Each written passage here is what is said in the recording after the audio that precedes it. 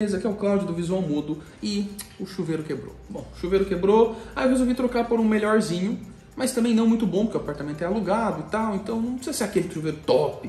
Aí eu pedi pro meu primo, eletricista top, me deu a recomendação desse chuveiro. Eu vou abrir com vocês, comprei na Magalu, demorou um tempão para chegar. Então eu vou deixar um link de um lugar que eu achei mais barato, que chega mais rápido, da Amazon, tá? Vou deixar o link na descrição do vídeo, lugar top.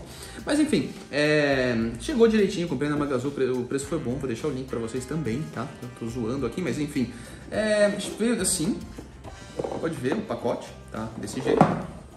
Meio amassadinho, não gosto muito quando vem desse jeito, infelizmente, mas entregas, né? Fazer o quê? E vamos abrir para dar uma olhada junto, tá? É, eu vou deixar uma recomendação para vocês. Sempre que vocês comprarem alguma coisa, façam um vídeo abrindo, não para postar nem nada do tipo, mas caso dê algum tipo de problema, vocês tenham uma prova de como chegou o produto, tá bom?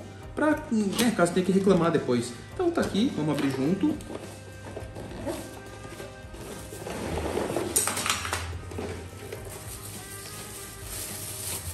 é o chuveiro. Vou abrir aqui para vocês. Depois eu vou descobrir se é fácil instalar e se é bom, aí eu conto para vocês depois. É uma ducha eletrônica da Hydra.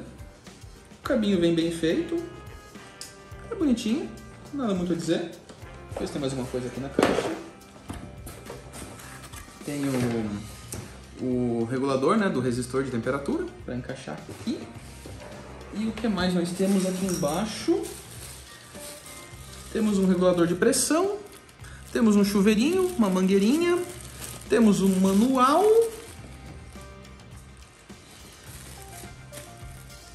Temos um aviso, muito importante. Está escrito, importante. E temos isso aqui que eu nunca sei como é que usa, que prende para prender o, a mangueirinha. E bom, era isso.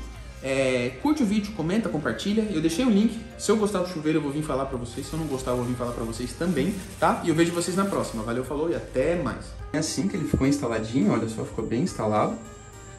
Foi bem fácil de instalar até, chamei meu primo, ele entende de elétrica muito melhor que eu. 220, normal. Funciona muito bem, tá? Esquenta super bem, tá? Tem mais de 6 mil watts de potência. E resistência variável, né? Que você gira aqui para controlar o resistor, para aumentar ou diminuir a temperatura, é muito melhor do que aqueles que você seleciona, né? Verão e inverno. Agora deixa eu ligar para vocês. Ele não é muito barulhento, e bom, era isso que eu tinha para mostrar para vocês. Curte o vídeo, comenta, compartilha, se inscreve no canal e volta amanhã porque tem mais, viu? Valeu, falou e até mais.